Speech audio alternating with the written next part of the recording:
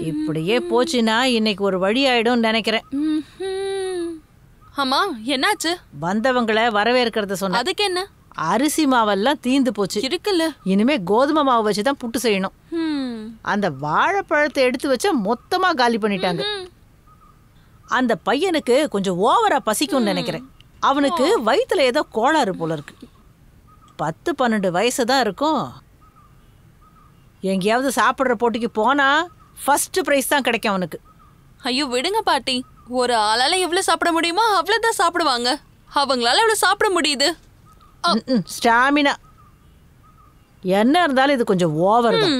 தாத்தா காதுல விழ வேண்டாம். ஓ அப்ப அவரு கேட்காம இருந்தா உனக்கு போதும்ல?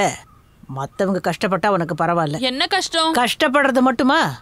இங்க பாரு.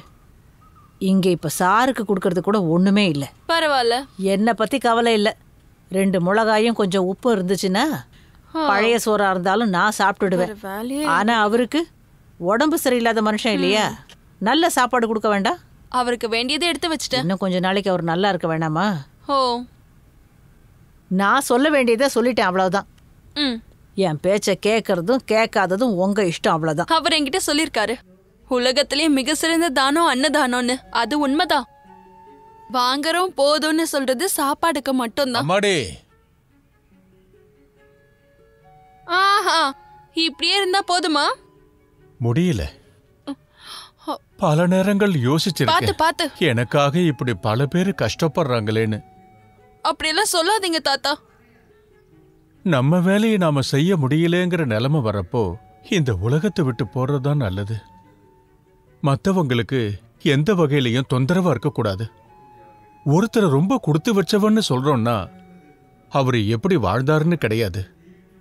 அவரு எப்படி செத்தாருங்கிறத வச்சுதான் சொல்லுவாங்க.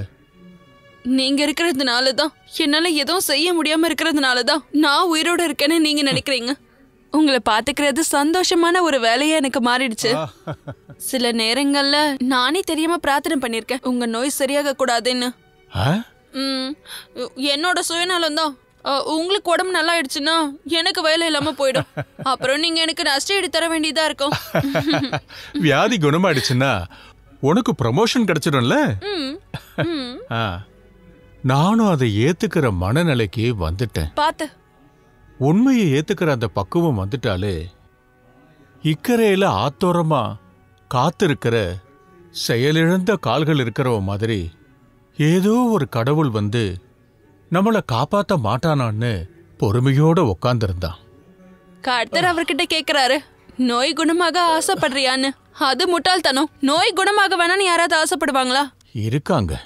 பாத்து. நிறைய நோயாளிங்க வியாதி. குணமாகணும்னு. ஆசைப்படாதவங்க தான். சாகரத்துக்கு ஆசைப்படாதவங்க. அதனால தான் தமிழ்நாட்டிலேயே இல்ல இந்தியாலேயே வியாதிக்காரங்க கூடாரமா மாறி போயிடுச்சு. பாத்துக்கிறதுக்கு யாராவது ஆளுங்க இருந்தாங்கன்னா நோயை சந்தோஷமான விஷயமா பல பேர் ஏத்துக்கிறாங்க. ரொம்ப கொடுமையான வியாதியை பத்தி நான் சொல்ல வரல. நீங்க இந்த மாதிரி எல்லாம் சொல்றீங்க? நான் சொன்னது எல்லாமே உண்மைதாம்மா. பல பேரு குறிப்பா வசதியுள்ள மிடில் ஏஜ் சேர்ந்த பல பேரு மத்த சொந்தக்காரங்க கவனத்தை திசை திருப்பணும்னு ஆசைப்படுறவங்க தான். பாத்து எனக்கு தெரியும்.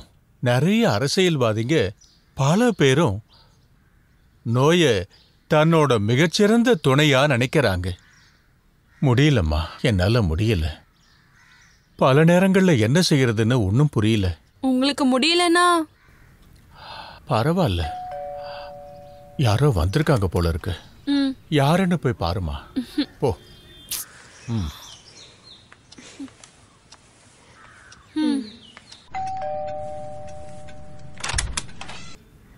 Good morning what a pleasant surprise. உன்னை ஆச்சரியப்படுத்தலான்னு பார்த்தேன். ஜெயிச்சிட்டேன். ஜெயிச்சிட்டேன். நான் ரொம்ப ஆச்சரியப்பட்டேன். இந்த அளவுக்கு போதுமா? ஏய் இது பீபர்ஸ்னு சொல்லுவாங்க. டேய். ஆ. காலையில குளிச்சு முடிச்சிட்டு டிஃபன்லாம் சாப்பிட்டு உட்காரும் போது ஒரு யோசனை. டக்குன்னு தோணுச்சு உன்னை பார்த்தே ஆகணும்னு. அதுக்கப்புறம் அலெக்சாண்டர் சார் கிட்ட பேசலாம்னு நினைச்சேன். திருடா அவர் பேரை சொல்லி நீ இங்க வந்துட்டியா. ஐய நான் மத்தவங்கள மாதிரி இல்ல நான் ரொம்ப டிஃப்ரெண்ட் ஓ நல்லாவே தெரியும். இந்த ஃப்ளர்ட்டிங் எல்லாம் எனக்கு ஃபேசினேஷனே இல்லம்மா. டோன்ட் லை எல்லாரும் இந்த வயசுல அனுபவிக்கிற ஒரு ரீதியான ஃபேஷனேஷன் அப்படி இருந்தா அதை சொல்ல எனக்கு வெக்கமும் கிடையாது. நான் டீச் பண்ற காலேஜ்ல எவ்வளோ அழகான பொண்ணுங்க இருக்காங்க தெரியுமா? அழகான ப்ரொஃபசர்ஸ் கூட இருக்காங்க. சரி அதை விடு. சார் எங்க? அவரு காலை கடன்லாம் செஞ்சிட்டு இருக்காரு இன்னும் கொஞ்ச நேரம் ஆகும். ஆ புக் எழுதிட்டு இருந்தாரு என்னாச்சு? ஆ கிட்டத்தட்ட நான் தானே ஸ்கிரைம் நான் ஃப்ரீ ஆகும் போது தான் எழுத முடியும். சி இன்னைக்கு ஒரு நல்ல சண்டே தான். எல்லா சண்டையும் நல்ல சண்டே தான். அப்புறம் மனுஷன் சோம்பேறித்தனமா இருக்கிறதுக்கு ஒரு நாள். அவ்வளவுதான். இல்லைன்னா பாரேன். எல்லா நாளும் நல்ல நாள் தான் ஆனா எங்கள மாதிரி ஒரு கிறிஸ்டியன்ஸ்க்கு ஞாயிற்றுக்கிழமை ஒரு நல்ல நாள் தான் நீங்க கிறிஸ்டியன்ஸ் ஞாயிற்றுக்கிழமையே ஸ்பெஷல் டேவா மாத்திட்டீங்கன்னு தான் சொல்லணும். நான் ஒத்துக்கிறேன். எனக்கு சண்டை போட மூடு இல்லை இன்னைக்கு. இன்னைக்கு நான் ஃப்ரீயா இருக்கேன். அதான் கொஞ்ச நேரம் எழுதலாமேன்னு யோசிச்சேன். அப்பதான் நீ இங்க வந்திருக்க. ஓ சரி நான் கிளம்புறேன். அதெல்லாம் இல்ல. வந்துட்டீங்களா? அப்ப தாத்தாவை பார்த்துட்டு போங்க. வாங்க. ரூம்ல இருந்து படிச்சு படிச்சு போர் அடிச்சிருச்சு. அதான் கொஞ்சம் வெளியே வந்தேன். ஒரு பேச்சுலரோட கண்டிஷன் என்னன்னு உங்களுக்கு நல்லாவே தெரியும்.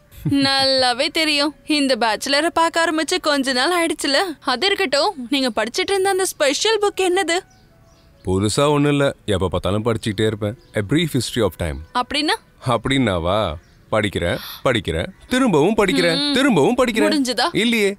In fact now I mean psychology of search of God what you mean சொல்றேன். நான் இந்த கடவுளோட மைண்ட் செட்டை பத்தி ரொம்ப டீப்பா படிச்சிட்டு இருக்கேன் ஓ அப்ப அது பிரச்சனை தான் இல்ல? நேத்து நீ ஃபோன் பண்ணப்பவே நினைச்சேன். என்ன? உன் மூளையில ஏதோ பிரச்சனை இருக்குன்னு. இதோ வரேன் தாத்தா. நீ இரு. ஆ, அது வரைக்கும் அந்த பேப்பரை படிச்சிட்டு. நல்ல சூடான செய்தி டெய்லி வருது. இல்லைன்னா டிவி பார்த்துட்டு.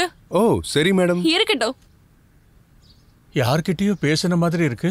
அவரு ஒரு மகான் தான் உங்களோட சிஷியனும் பிசிசிஸ்டுமான மிஸ்டர் பிரதீப் அவர்கள். ஆஹா பிரதீபா என்ன விசேஷமா? விசேஷம்லாம் எதுவும் இல்லைன்னு சொன்னாரு. அப்புறம் நான் எதுவும் கேட்கல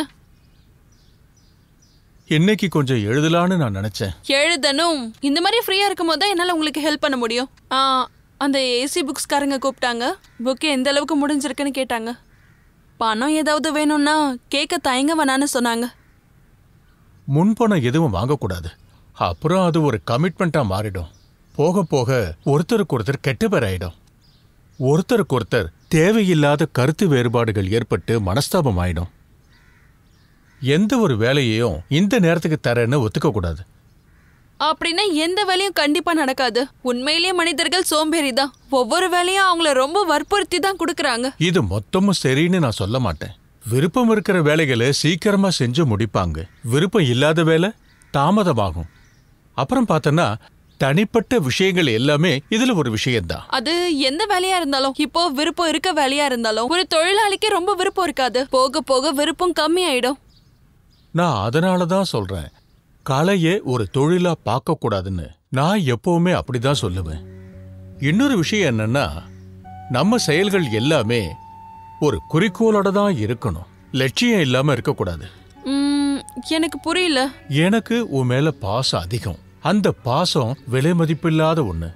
தப்பி தவறி உன் மேல ஏதோ ஒரு சுயநலத்துக்காக பாசம் வைக்கிற மாதிரி நடிச்சன்னா அந்த நேரத்துல நீ ஒரு பாதையா மாறிடுவ. அதுக்கு வாய்ப்பு இருக்கு. நல்ல ஒரு கொட்டேஷன் கிடைச்சிருக்கு. அன்பு ஒரு லட்சியமா தான் இருக்கணும். வழியா இருக்க கூடாது விஜய் அலெக்சாண்டர். கொட்டேஷன் நல்லதா இருக்கு. என் பேரை மாத்திட்டு வேற ஒருத்தரோட பேரை சேர்க்கணும் அவ்வளவுதான். வேண்டாம் வேண்டாம். Say Immanuel Kant's. அதுவும் வேண்டாம். உங்க நிஜ பேரே போதும். உங்களுக்கும் அப்படி போட்டா தானே பிடிக்கும்? ஒருவேளை உங்களுக்கு இந்த நினைப்புகள் வந்ததுக்கு அப்புறம் அவர் எழுதுனது நீங்க படிக்க போறது. ம்? ஆ, பாருங்க. அதெல்லாம் நம்ம அப்புறம் டிஸ்கஸ் பண்ணுவோம்.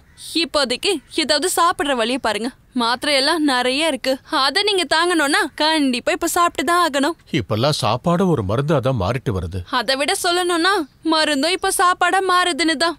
ஆனா நம்ம இப்ப முதல்ல நன்றி சொல்ல வேண்டியது இந்த அப்பாவே வயிற்றுக்கு தான். விருப்பம் இருக்கிறது இல்லாதது எல்லாத்தையும் தாங்குதுல்ல?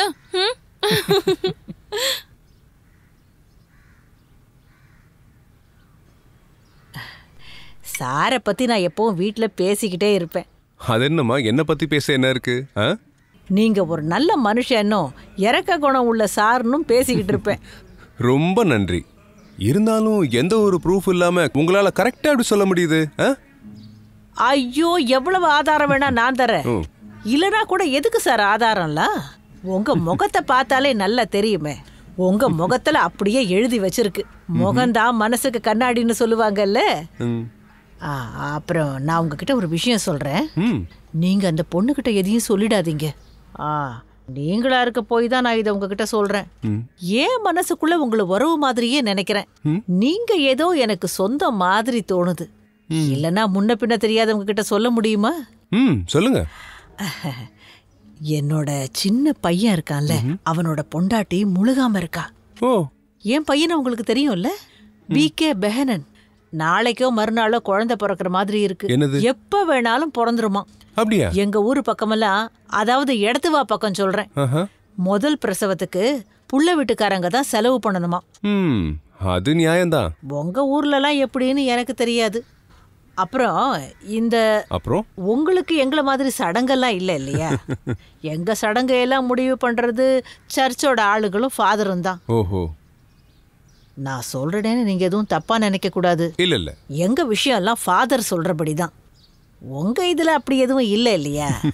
அதனால உங்களுக்கு இது புதுசா தெரியலாம். உங்க கோவில்ல இருக்கிற பூசாரி சொன்னாருன்னா நீங்க அதன்படி கேட்பீங்களா என்ன? அது வந்து ஆனா இங்க அந்த மாதிரி கிடையாது. ரொம்ப டிசிப்ளினான சமுதாயம் எங்களுது. அதாவது நான் சொல்ல வந்தது என்னன்னா என்னது? போன வாட்டி சர்ச்சுக்கு போனப்ப ஃபாதர் என்கிட்ட கேட்டாரு? ஏன் அண்ணம்மாக்கா இப்படியே போனா போதுமான்னு. எப்படி? நான் ஒரு உண்மையை சொல்லணும்னா எனக்கு அந்த இடத்துல ரொம்ப வெக்கமா இருந்துச்சு. எதுக்காக? என் ரெண்டாவது மருமகளோட அம்மா வீட்டுக்காரங்க ஃபாதர் கிட்ட எல்லாத்தையும் சொல்லியிருப்பாங்க. அதனால தானே ஃபாதர் என்கிட்ட அந்த மாதிரி கேள்வி கேட்டிருக்காரு. நீங்க என்ன என்ன விஷயம்னு சொல்லவே இல்லையே. அதை பத்தி தான் சொல்ல வரேன். என்னோட சின்ன வயசுல ஏதாவது ஆயிருந்ததுன்னா ஃபாதரா இருந்தாலும் அசிஸ்டண்டா இருந்தாலும் ஒன்றும் நான் பார்த்துருக்க மாட்டேன். இந்த. மாதிரி நக்கலா பேசுற விஷயத்தெல்லாம் அங்கேயே முடிச்சிருப்பேன். அதையெல்லாம் விட்டு தள்ளுங்க. நான் சொல்ல வந்தது என் பையனோட விஷயம்தான். வி. கே. பெஹனன். அவன் ரொம்ப நாளா வேலை இல்லாம வீட்லயே தான் சும்மா உட்காந்துருக்கான் ஓ அது சரி. கஞ்சி குடிக்கிறதுக்கே நான் ஏதாவது கஷ்டப்பட்டு கொண்டாந்தாதான். அது ரொம்ப கஷ்டம் இல்ல இந்த வீட்டு பொண்ணுக்கு என்னன்னா அதை பத்தி எந்த கவலையும் கிடையாது. ஒரு பிரசவத்துக்குன்னா அதுக்கு எவ்வளவு செலவு இருக்கு? என்ன? பிரசவத்துக்காகவா? அதுக்கு இங்க இருக்க பொண்ணு கல்யாணமே பண்ணலையே. ஐயய்ய நீங்க என்ன இப்படி இருக்கீங்க? இவ்வளவு வயசான எனக்கே வெக்கமா இருக்கு. சரி சரி. நான் கொஞ்சம் அடுக்களை வரைக்கும் போறேன். வெட்டியா பேசி நேரம் போனதுதான் மிச்சம். உங்களுக்கு இப்போ என்னதான் வேணும்? இப்போதைக்கு என்கிட்ட ஒரு நூறு ஐநூறுரூவா இருக்கும். கொஞ்சம் சில்லறையும் இருக்கும். ஒரு மேக்ஸிமம் நூறு ஐநூறுரூவா வரைக்கும் நான் உங்களுக்கு தாராளமாக கொடுத்து ஹெல்ப் பண்ண முடியும். ஓ அதை வச்சு நான் என்னத்த பண்றது சொல்லுங்க. இருந்தாலும் அதை வேண்டான்னு சொல்ல மனசு இல்லாத காரணத்தினால. ஆறுநூறுனா அறநூறு காசு யாரு கொடுத்தாலும் அதை மறுக்க கூடாதுன்னு தான் கர்த்தரே சொல்லியிருக்காரு. நான் சொல்றது கரெக்ட் தானே? ஆமாம்மா. அப்புறம் அந்த பொண்ணுகிட்ட சொல்லி நீங்க எனக்கு ஏதாவது ஒரு உதவி பண்ணணும் சார். புரிஞ்சிடுச்சிங்களா ஆ சொல்லி பார்க்குறேன். செய்யறதா அவங்க செய்வாங்க. இந்த அடிச்சா சிக்ஸ் இல்லைன்னா டக்குன்னு வாங்களே அப்படி. ஹலோ? ஆ. டேய் நீ எப்படா வந்த? Okay okay. நீ இங்கே வந்துடுறா. யாரை கேட்டாலும் அவங்க அட்ரஸ் சொல்லுவாங்கடா. அந்த ஆமலூர் ஜங்ஷன்லேருந்து ரெண்டு கிலோமீட்டர் லெஃப்டில் வரணும். ஃபர்ஸ்ட் லெஃப்ட் அதே தான் அங்கே வந்து யார்கிட்ட கேட்டாலும் போதும். அலெக்சாண்டர் சார் வீடு எதுன்னு. நீ இங்கே வந்துடு சாரையும் பார்க்கலாம்ல. விமலா இருக்கா? அவரோட கிராண்ட் டாட்டர் ஆ சரி. ஓகே. வச்சிடுறேன்.